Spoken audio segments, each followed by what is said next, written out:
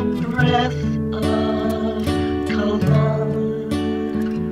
Her mirror was a window.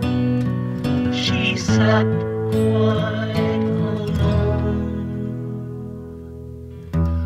All around her the.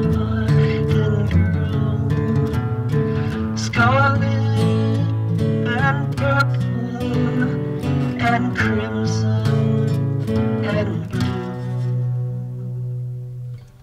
She came and she went, and at last went away.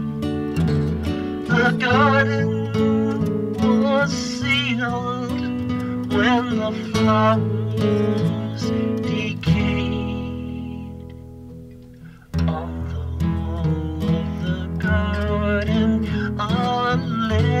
And did say no one may come here since no one.